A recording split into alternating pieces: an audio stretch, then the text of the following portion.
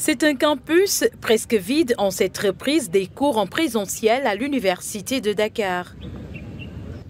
À la faculté de médecine, Rokhaya, une nouvelle bachelière, est impatiente de prendre contact avec ses professeurs et camarades étudiants.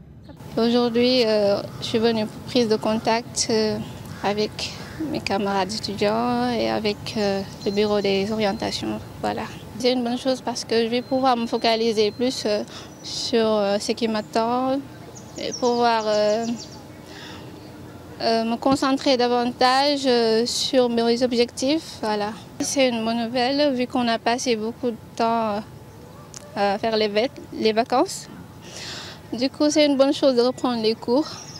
Ce retour des étudiants sur les bancs de l'université Cheranta Diop de Dakar est un moment d'espoir et de renouveau. L'apprentissage et le progrès seront des mises selon l'étudiante Alima Sow, qui rêve de devenir chirurgienne. On aimerait que, les cours puissent continuer afin que parce qu'il y, a des étudiants qui, ont perdu euh, leur année gratuitement. Je connais des, étudiants en, droit déjà. Ils ont fait plus de deux ans euh, au même niveau. Et pas. C'est désavantageux quand même. J'étais très contente parce que voilà, j'avais hâte de, reprendre les cours. J'en avais marre de, rester, de tout le temps rester à la maison et tout. Voilà. J'étais contente.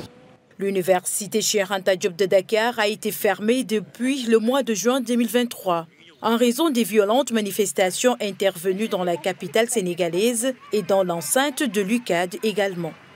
Le conseil académique de l'université a finalement décidé de la reprise des cours en présentiel depuis le 26 février.